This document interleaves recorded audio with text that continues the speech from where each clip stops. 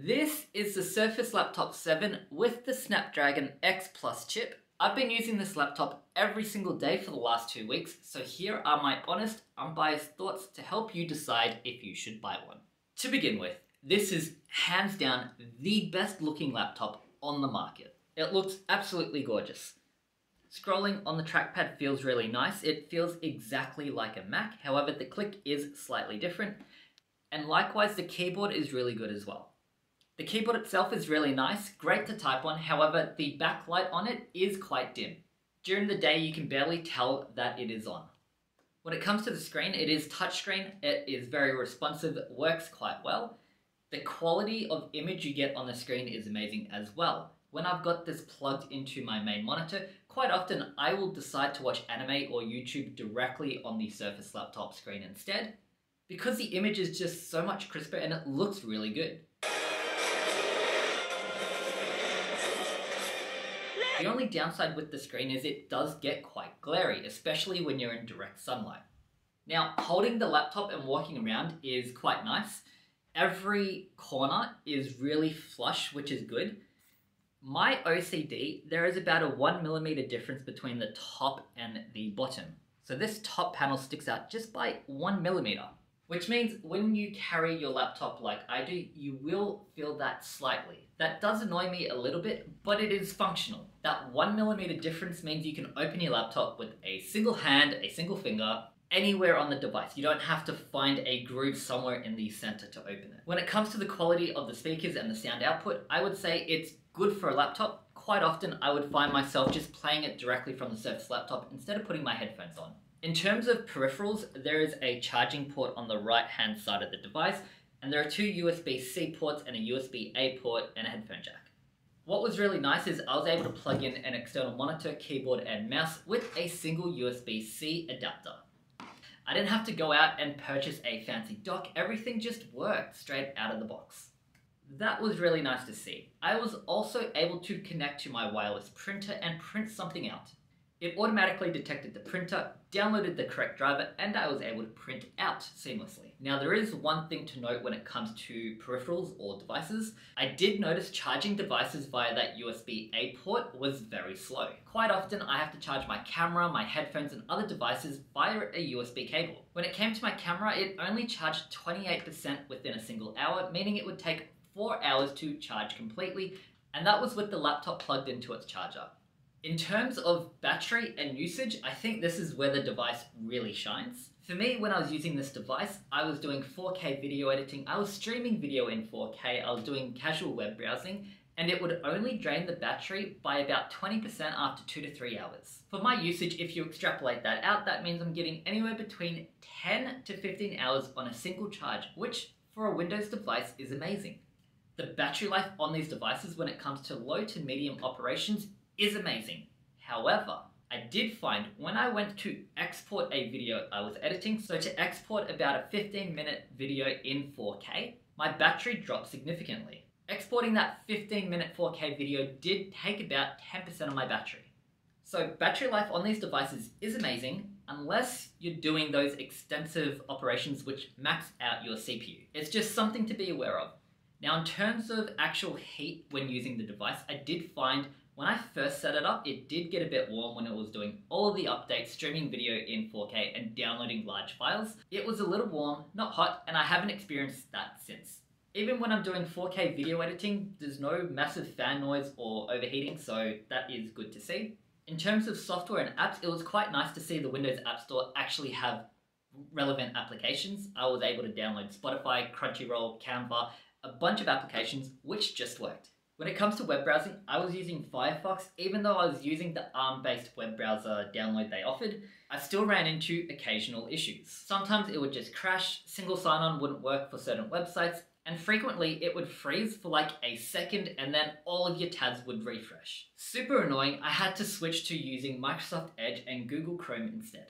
In terms of using this device for development, I installed Microsoft Visual Studio Code, which was fine. I also installed Python. I was able to execute and run basic Python scripts. I was also able to install the AWS command line interface and connect into my AWS account and run certain commands. I also downloaded Android Studio, created a basic project. Now it looks like you can do mobile development with a caveat.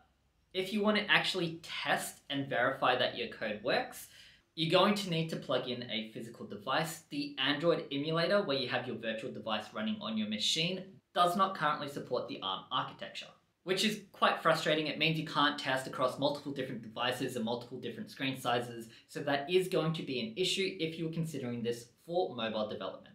When it comes to AI, there's the inbuilt uh, GitHub Copilot button, I personally found that AI quite slow in its responsiveness and quite often it was just incorrect on so many fronts, giving me wrong code. I would often opt to use ChatGPT just because the responses came back a lot quicker. So yes, it's got AI, but it's more a buzz feature than a usable thing that you would actively use every single day. Talking about AI, I also downloaded and installed LM Studio, which allows you to run uh, AI locally on your machine. Their latest release won't work. However, if you go to this link, you can download a specific ARM-based version. It works, but it is quite buggy. The first couple of times I was able to load the large language model and interact and get responses quite quickly. It performed very well. However, after that, on subsequent attempts, it didn't work. So it's quite buggy, and if you're using this for local AI, I would probably advise against it for now, just because you probably are going to run into issues. In terms of gaming, this device is very hit and miss. I wouldn't recommend it for gaming. So I tried Palworld, it ran, but very poorly. However, it did run games like Hades 2 very well, Octopath Traveler 2 very well, and Ori really amazing as well. So while it's not a gaming laptop, it can do some gaming, but if it's not optimized for this architecture or you're looking at a massive online game, probably avoid. Now, the big usage for me is video editing. I use DaVinci Resolve to edit all of my videos. I found the performance quite good for a laptop. I was able to skip around and cut and chop videos quite well. It gets a pass for basic video editing, however, that's where it stops. To use DaVinci Resolve, you have to use their latest version, DaVinci Resolve 19, which is currently in beta, and it does have issues. Occasionally, the software would crash, and more notably, if you're trying to use the Fusion tab where you do custom animations and editing, or you're trying to use the color grading tab to do color grading of your films, it is buggy as hell and you're going to have a bad time. I had to change my workflow to do some of the animations in CapCut and other third-party softwares because it was too buggy to do it directly within DaVinci Resolve. I also found that I could do basic 4K video editing, however as my timelines got bigger and more complicated, the performance did drop. Now I can work with some of the slowness and the bugs, however the most frustrating part is when you go to export your 4K video, no matter what I do, when I export any video longer than 5 minutes, there are sections that get pixelated in the final output. I've tried this across multiple different videos and I was never able to get a single file where it was perfect 4K video, it would always pixelate like this, which is super frustrating. So, reflecting on all of that, who is this laptop for and would I purchase this device again, knowing everything I know now?